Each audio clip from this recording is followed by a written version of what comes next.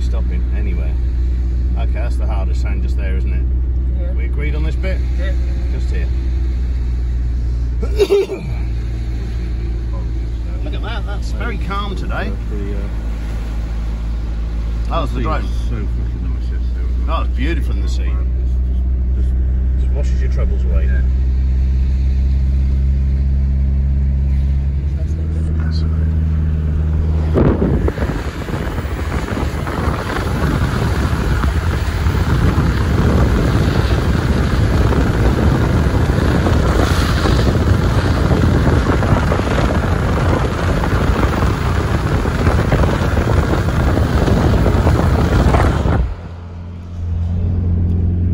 I love a bit of beach driving.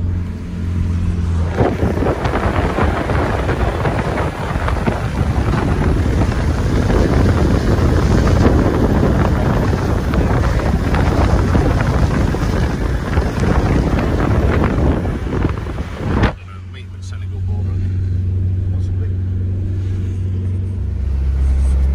Your beach driving going, Bam? It's quite fun.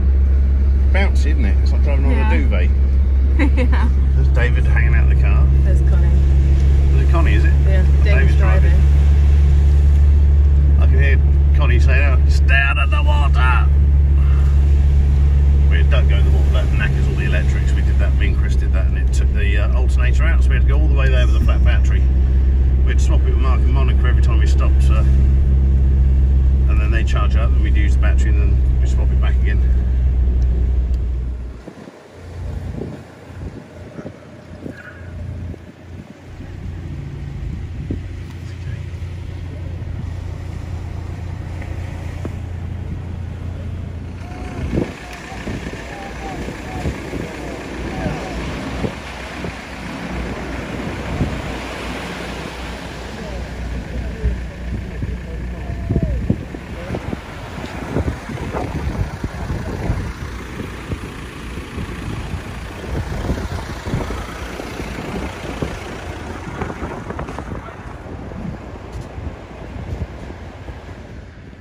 He's through. Connie's stuck. Would help push, but.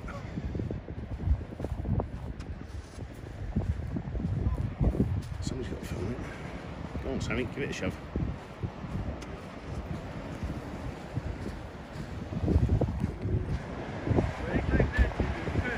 Well, that's nice, that's quick. He's not driving it, is he? No, didn't think so. something wrong with morning.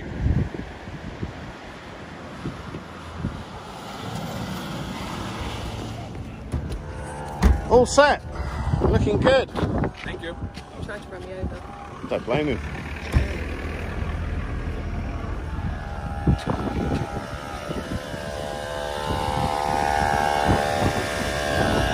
Right, we are entering Nouakchott, capital city of Mauritania, and probably one of the hardest places to ever drive through you're ever going to get, which is a lot of fun. A lot of really beaten up cars all trying to squeeze into each other.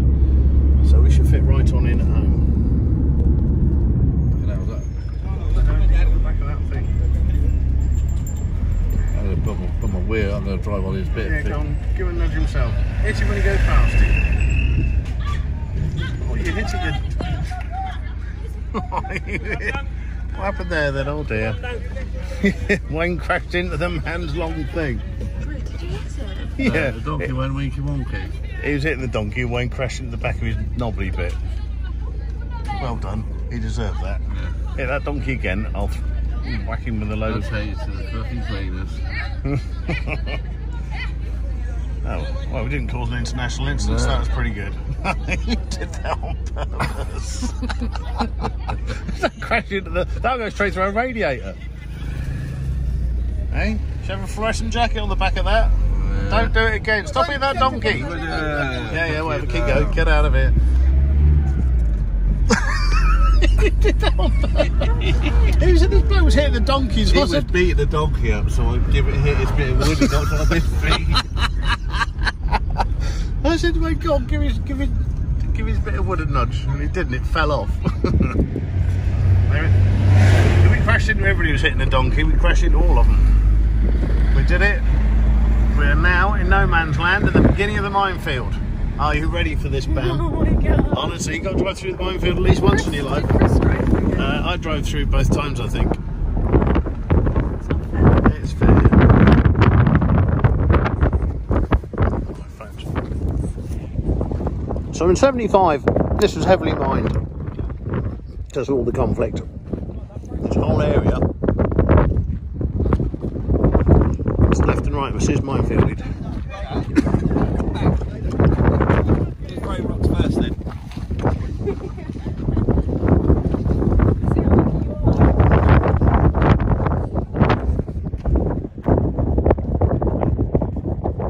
So now I'm going to make Sammy drive through the minefield, which is meant to be cleared, but that bit hasn't been cleared, so that's all mines now. Well, Chris will be interested in this. Look, Chris, they've tarmacked it all. We used to drive across the nice sandy landminey bits. used to be piles of cars. There used to be piles of cars all the way around. They've tidied it up. All the ones that have blown up and stuff. That's been up. But now, they've even sanitised the minefield of no man's land, which is desperately upsetting. I was so hoping you were going to drive through boom, boom, bang, bang bits. Thanks, Dad. Never know, I might crash into Crash into Connie, Connie. yeah. Uh, turns out they've only tarmacked the half that was Moroccan. the half that's Mauritanian is still good old fashioned minefieldy type nastiness.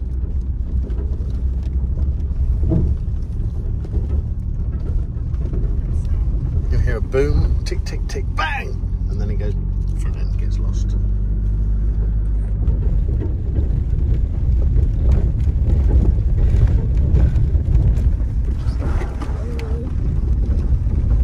I have a cunning plan. I'm going to stay behind Connie directly. So that if one goes off, he'll find out first. Yeah, following his wheel tracks, you can't go wrong. Oh. Doing well, Bam. Been blown up yet? There's, lot, Time, don't worry. there's lots of mines out there, but this would have all been blown up by now, I'm sure. Yeah.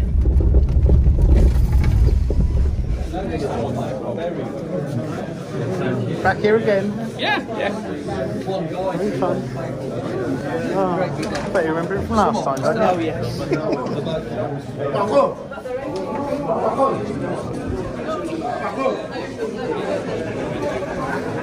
Can't use your influence to speed things up. How was your experience getting to Mauritania? Only took nine hours. Well, that's not bad. I've waited 14 hours at that border before, but you got your little stamp. Honestly, Mark almost hit someone. Yeah, well, he's been there a long time and he's done it a This few guy was pushing in, Yeah. and Mark was like, "Can you stop pushing me?" And this guy started on Mark, Yeah? and then Mark was just like, "No, don't push me." I look so sunburned in my photo. Brilliant. That's a jump in temperature. We are in Mauritania eating tomato crisps. Only took us about 10 hours to get through, which I consider a personal best. Not quite three hours we were promised, there we go. Funny. So, we're looking forward to potholes and desert. This is the biggest pothole so far, it's the entire stretch of road that's just disappeared.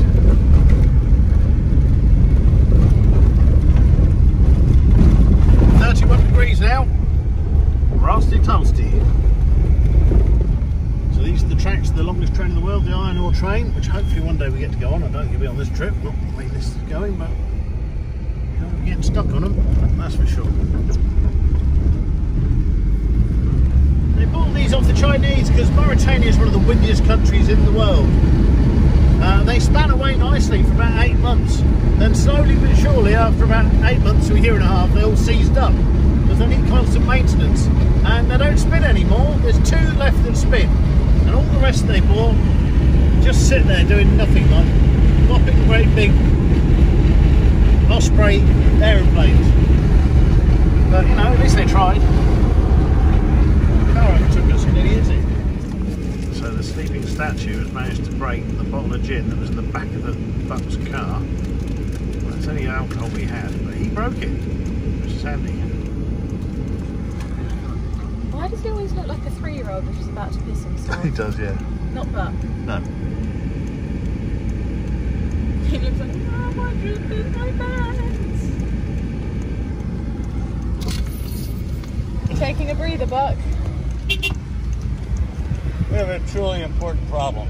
The gin's gone. Where no, we had a slight vodka leak. Vodka. Vodka? How slight? How, how did you leak Well, vodka? that's that's what we're we're trying to figure out. Is how slight. Mm. Did he undo the lid? And I put it in a. Uh, it probably got got pinched by uh, you know packing. Is uh, you know some people. She's going up on the roof. Oh yeah, I forgot about that. You'll figure it out.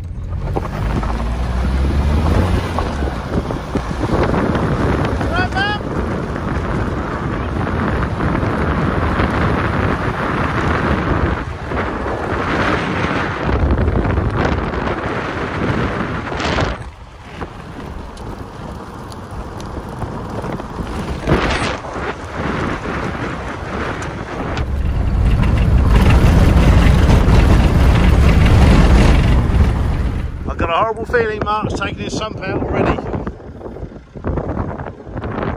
He's right over there. That's going to be a problem.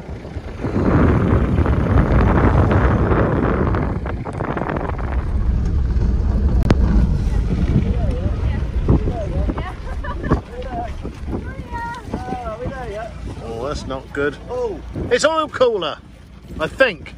I'm hoping it's the oil cooler pipe. It's near the front, isn't it? No, I think it's from the She's fixed.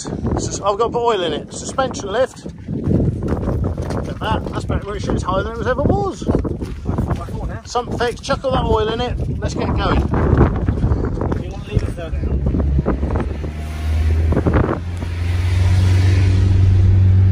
Sorry, we can't really slow down because otherwise we'll just dig in.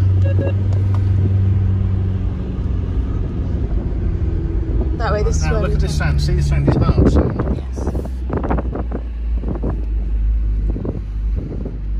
Have you turned that off? Oh, no, I haven't. I was going to turn that off. You explain what's just happened? Yeah, Mark's very low car with no sump guard.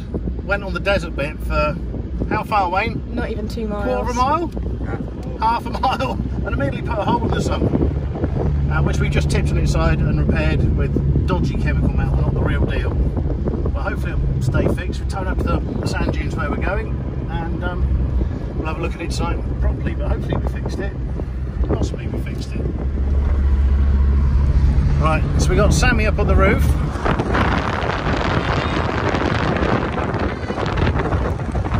We're towing Mark because he didn't have a sump guard or a spare wheel um, or any suspension on one side, so that was a bit of a problem. But we're doing right, we're good. He's off. Camel chasing. Run, Forrest, run.